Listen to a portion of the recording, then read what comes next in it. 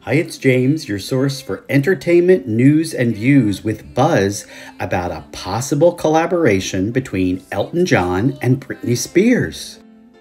After a smash success with his Cold Heart mashup duet with Dua Lipa, it sounds like Britney and Elton would be recording a new version of his classic Tiny Dancer.